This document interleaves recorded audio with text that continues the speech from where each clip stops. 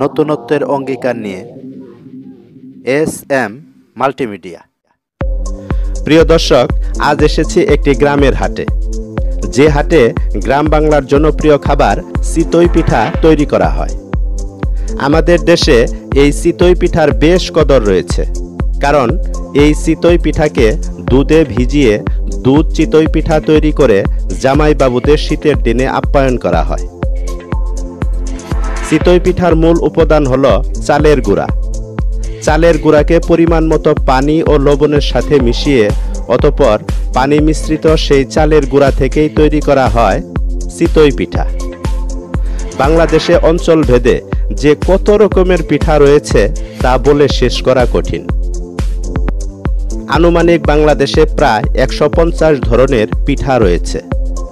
তবে অধিক জনপ্রিয় পিঠাগুলোর মধ্যে ভাপা পিঠা, পুলি পিঠা, পাটি সাপটা পিঠা, দুধ চিতই পিঠা, তালের পিঠা, শামুক পিঠা, কলা পিঠা, নকশি পিঠা ইত্যাদি ছাড়াও বাংলাদেশের বিভিন্ন অঞ্চলে হরেক নামের বাহারি সব পিঠা দেখা যায়। পিঠার দেশ বাংলাদেশ। পিঠা বাংলাদেশের একটি ঐতিহ্যবাহী খাবার।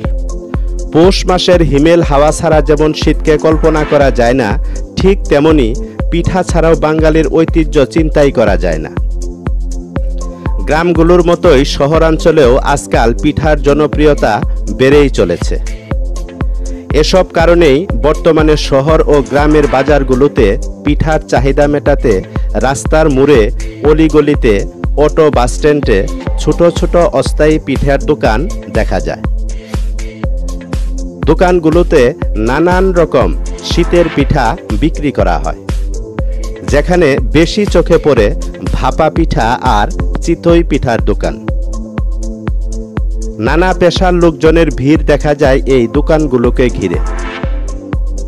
আর এভাবেই গ্রামের হাটে আগত লোকজন শীতের পিঠার আস্বাদন গ্রহণ করে। শীত এলেই বাঙালির মনে পড়ে শীতের পিঠার কথা। পিঠা ছাড়া বাংলার শীত যেন পরিপূর্ণ হয় না।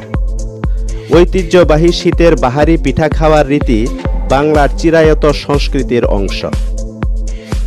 একসময় পাড়ায় পাড়ায়, মহল্লায় মহল্লায় ছোট বড় সকলেই পিঠা খাওয়ার আনন্দে মেতে উঠত। কিন্তু এখন তা আর তেমন চোখে পড়ে না। কর্মচাঞ্চল্য এই ব্যস্তময় জীবনে তা এখন অনেকটাই হারিয়ে গেছে বা যাওয়ার পথে। এখন পিঠা বানানো যেন অনেকটাই স্মৃতি হয়ে গেছে। আগের সেই পিঠা বানানোর স্মৃতিময় দিনগুলো হারিয়ে গেছে অনেক দিন আগেই। কালের বিবর্তনের সঙ্গে সঙ্গে আমাদের গ্রামীণ সংস্কৃতিগুলো একে একে হারিয়ে যাচ্ছে। গ্রামের গৃহিণীদের মধ্যে আগের মতো পিঠা বানানোর উৎসব নেই। আমাদের নতুন প্রজন্ম থেকে হারিয়ে যাচ্ছে গ্রামীণ পিঠা সংস্কৃতি। প্রিয় দর্শক, আজ এ পর্যন্তই। আবারও হাজির হব কোনো ঐতিহাসিক স্থান অথবা নতুন কোনো বিষয়ের বর্ণনা নিয়ে। আশা করি সে পর্যন্ত ভালো থাকবেন এবং সুস্থ থাকবেন।